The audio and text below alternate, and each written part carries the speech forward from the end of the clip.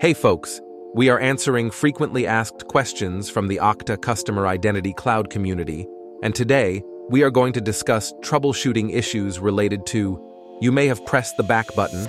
Let's get started. This error is often caused by certain user behaviors that interrupt the session created during the login flow. Take, for example, if a user bookmarks the login page, when an application initiates the login process, it navigates to your domain slash authorize with a set of required parameters.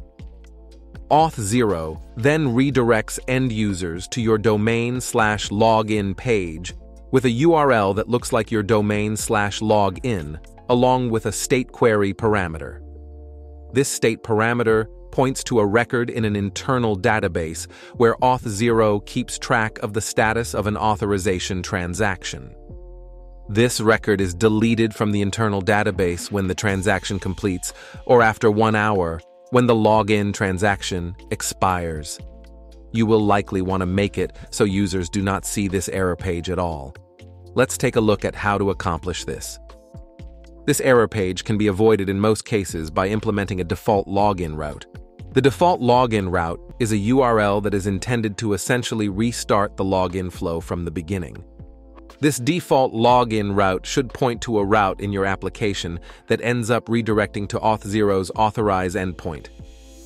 The default login route can be configured either at the application level or at the tenant level. If an application does not have a default login route configured, the tenant level 1 will be used instead. To configure a default login route for an application, go to the dashboard and to Applications and Applications again. Open your application, and on the Settings page, scroll down to the field that says Application Login URI and enter your login route. Currently, only the HTTPS scheme is supported, and it cannot point to a local host, though it can include query parameters and a URI fragment.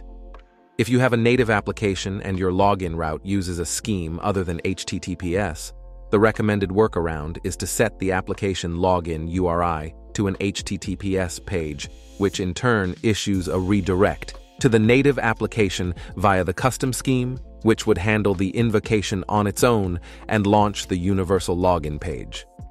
This intermediate HTTPS page would need to be hosted by your application, to set a default login route at the tenant level. Go to the dashboard, then to the Settings, and over to the Advanced Settings tab.